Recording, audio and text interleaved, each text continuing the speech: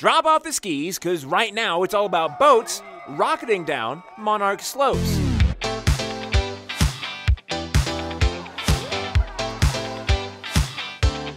All right, I just saw you kayak down a mountain. Talk to me about that. Well, it's pretty sick. It's a lot faster than I thought it would be for sure. An annual event, Kayaks on the Snow is hard or at least interesting to explain. This is a combination of sledding and probably skiing and jumping off a cliff all at the same time. And we got a red kayak coming down! The BYOK, or Bring Your Own Kayak event, has been drawing a crowd for 13 years. We got about two or 300 people. Everybody's cheering, having fun. Woo!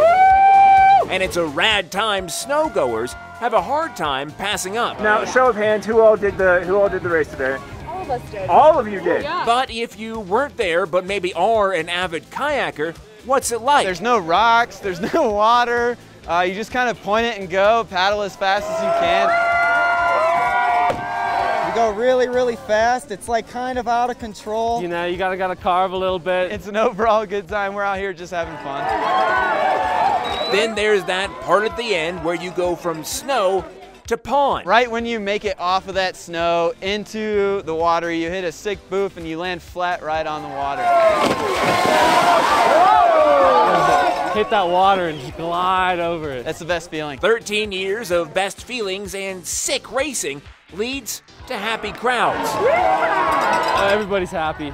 We're getting like snowballs chucked in our faces. Everybody's screaming when we're coming down. Lots of excitement. And for those that didn't win the race, they say they'll win the party this year and next. Uh, yeah, I'll be here next year. You know, the party's not going to win itself, so I'm just trying to do that for us. Watching out for you, Colorado Who's keeping it gnarly.